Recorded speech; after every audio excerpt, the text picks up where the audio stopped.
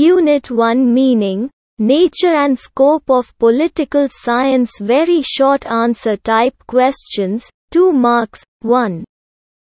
Define political science. Answer. J. W. Garner. Political science begins and ends with the state. Paul James. Political science is part of the social science which treats the foundations of the state and the principles of the government. 2.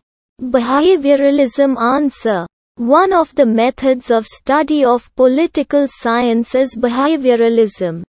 It is the method to study political science based on the perceptions of the individuals towards their own political system and their political behavior. David Easton, Gabriel Almond, Charles Merriam are some of the prominent popularizers of this method. 3. Post-behavioralism Answer Post-behavioralism has emerged as a method of studying political science in response to behavioralism. While behavioralism gives importance to scientific facts and methods, Post-behavioralism gives equal importance ethics and values in addition to scientific facts and methods. 4.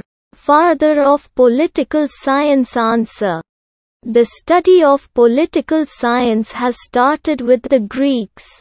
The Greek philosopher Aristotle who has laid the solid foundation in studying politics scientifically is regarded as the father of the political science. Aristotle is the author of the famous book, Politics.